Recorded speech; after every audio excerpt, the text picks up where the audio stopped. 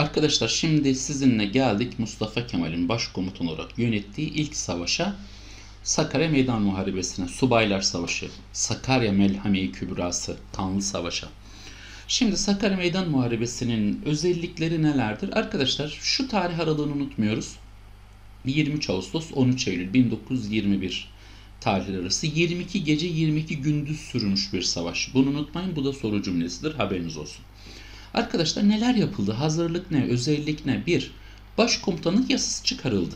Eskişehir Kütahya'dan sonra 5 Ağustos 1921'de demin söyledik. Bu yetkiyle başkomutanlık yetkisiyle Mustafa Kemal Tekalif Milliye emirlerini yayınladı. Neden? Ordunun ihtiyacını karşılamak amacıyla. Arkadaşlar bu düzenlemeyle yani bu düzenlemeler yapılırken şöyle bir şey oldu. İsmet İnönü Genelkurmay Başkanı, Fevzi Çakmak ise Milli Savunma Bakanıydı. Yükü ağırlaştı İsmet İnönü'nün. O yüzden arkadaşlar e, Genelkurmay Başkanlığı ve Batı Cephesi Komutanlığı görevinde bulunan İsmet İnönü'nün elinden işlerin yoğunluğundan dolayı Genelkurmay Başkanlığı alındı ve Fevzi Çakmak'a verildi. O zaman Sakarya Savaşı'ndan önce Fevzi Çakmak bizim Genelkurmay Başkanımız oldu. Fevzi Çakmak'taki Milli Savunma Bakanlığı görevi de Refet Bey'e verildi. O zaman Sakarya Savaşı'nda Mustafa Kemal Başkomutan 1. İsmet İnönü Batı Cephesi Komutanı Fevzi Çakmak Genelkurmay Başkanı Refet Bele de Milli Savunma Bakanı. Anlaştık mı arkadaşlar? Gayet güzel ve bu arada Mustafa Kemal Başkomutan Mustafa Kemal hemen bir bilgi daha. Neydi Mustafa Kemal? Hem meclis başkanı hem de icra vekilleri heyeti başkanı. Yani hükümetin de başıydı. İşleri yoğun, çok ağır var, ağırlık var. Mustafa Kemal icra vekilleri heyeti başkanlığı görevini yani aslında başbakanlık gibi Cumhuriyet'in ilanından önce başbakanlık yok ama aslında başbakanlık gibi görevi düşünün. Hükümet başkanlığı görevini Fevzi Çakmak'a verdi. Mustafa Kemal'den sonra bizim icra vekilleri heyeti başkanımız Fevzi Çakmak'tır. Ondan sonra Rauf Orbay olacaktır arkadaşlar tamam mı? Sonra da Fethi Okyar, Ali Fethi Okyar olacak. Cumhuriyeti ilan edilecek. Cumhuriyet'in ilk başbakanı da İsmet İnönü olacak. Şimdi ikincisi bu. Üçüncüsü şu. Yani üçüncüsü dördüncüsü şu. Arkadaşlar Kral Konstantin şeyde bunlar. Hep Batı Anadolu'da bunlar yani. Eskişehir Kütahya'dan önce gelmişti. Hazırlıklarını tamamlayan Yunan ordusuna Ankara'ya emrini verdi. Komik, komediye bakın şimdi. Ankara'ya gelecekler. 23 Ağustos 1921 sabahı Yunan ordusunun saldırısıyla Sakarya Meydan Muharebesi başladı. Dikkat edin söylemiştim. Birinci, ikinci önü Kütahya, Eskişehir, Sakarya savaşları Yunan saldırısıyla başladı. Bu dört savaş bizim savunma savaşımız. Arkadaşlar Başkomutan Mustafa Kemal orduya şu emri verdi.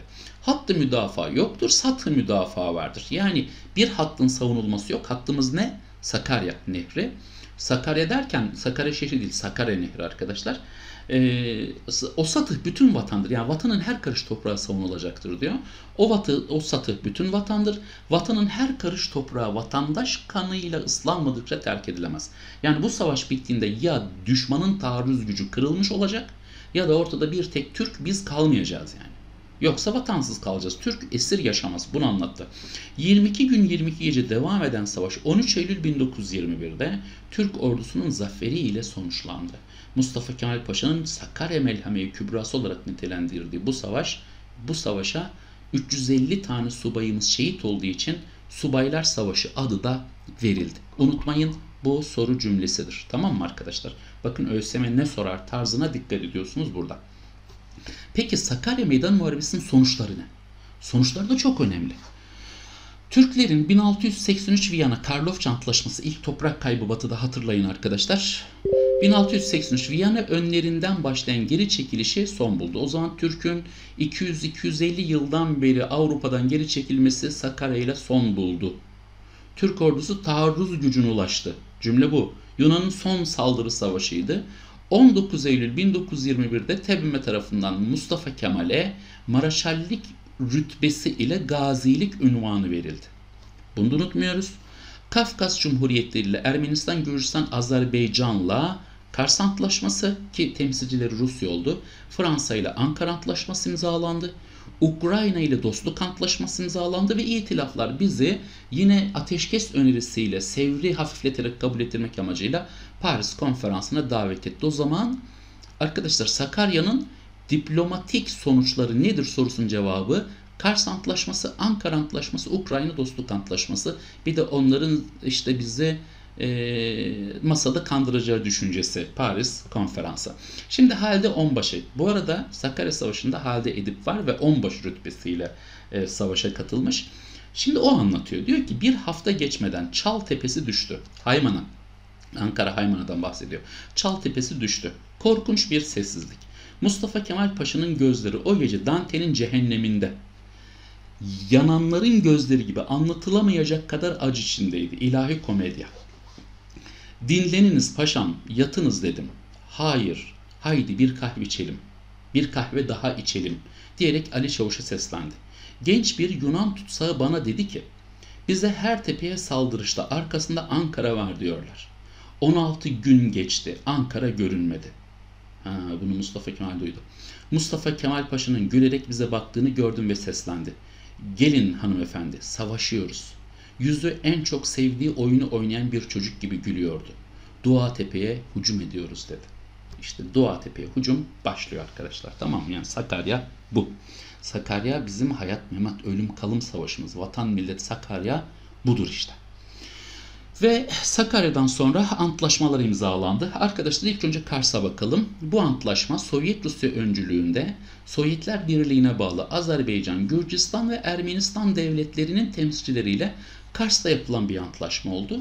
Bu antlaşmada bizim adımıza yine Gümrü'de olduğu gibi Kazım Karabekir var. Başkanlığını da Kazım Karabekir yapmıştır Türkiye heyetinin. Arkadaşlar bu antlaşmaya göre diyor ki taraflardan birinin varlığını tanırken sınırlar konusu son şeklini aldı. Böylece Türkiye'nin doğu sınırı kesinleşti. O zaman Sakarya Savaşı'yla Doğu cephesi Gümrü ile Doğu cephesi kapanmıştı. Moskova ile Batum Gürcistan'a verilmişti. E, Kars Antlaşması'yla Doğu sınırlarımız son şeklini aldı. Lozan Antlaşması'nda Doğu sınırları e, çizilirken Kars aynen kabul edilecektir. Moskova maddeleri aynen kabul edildi. Ne varsa Moskova'da aynen kabul edildi. Nahçıvan özel yönetiminin kurulması kararlaştırıldı. Arkadaşlar buradaki ordularımız ve cephanemizin hemen hemen tamamına yakını Gümrü'yle bir kısmı gelmişti. Ee, Ankara'ya Batı cephesine sevk edildi.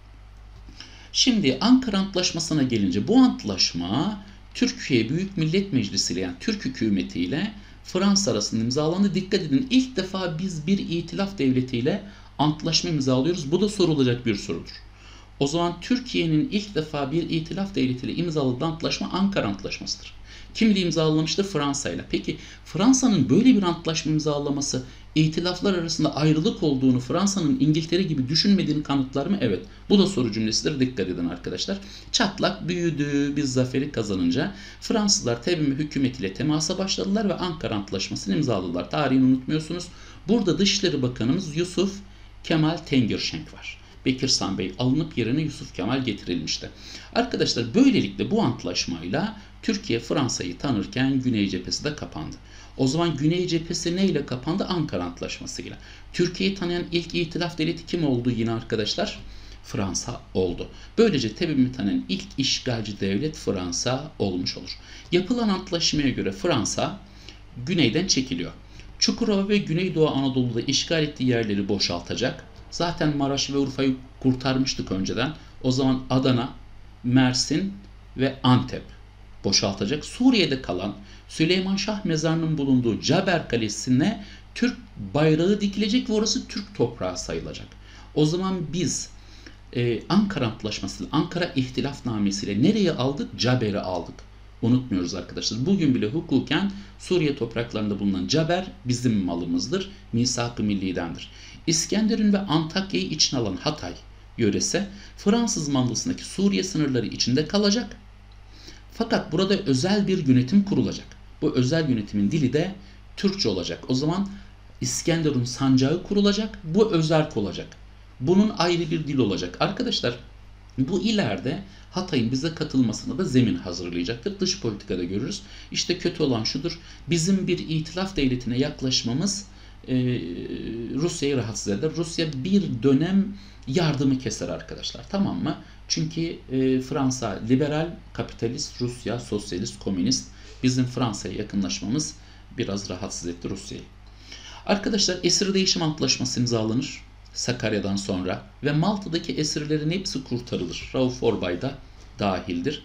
Ukrayna dostluk Ukrayna ile dostluk antlaşması imzalanır. Bu antlaşmayla Ukrayna Türkiye Büyük Millet Meclisi hükümetini tanır, resmen tanır. Türkiye ile Sovyet Rusya arasındaki ilişkiler gelişir. İtilaflar bizi Paris'e davet eder. Paris konferansında bize bir mütareke teklif ederler. 22 Mart 1922 tarihli mütareke. Derler ki mütarekede burası Anadolu tamam mı? Gayet güzel. Şuraya bir hat oluşturalım derler. Kalemi değiştireyim. Hat oluşturalım. Hattın doğusunda Yunan kuvvetleri olsun. Batısında işte Türkiye Büyük Millet Meclisi'nin kuvvetleri olsun.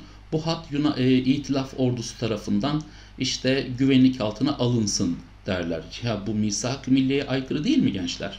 Biz de eben güzel mi dedik. Bunların teklifini kabul etmedik. Çünkü bizde asıl önemli olan şey barışa otururken, masaya otururken misak-ı millidir, bağımsızlıktır. Bundan ödün vermeyiz. Peki Paris konferansının yapılması onların sevri yumuşatacaklarını ve bize mütareke teklif ettiklerini kanıtlar mı? Evet, aynı Londra'da olduğu gibi Birinci Dünya Savaşı'ndan sonra.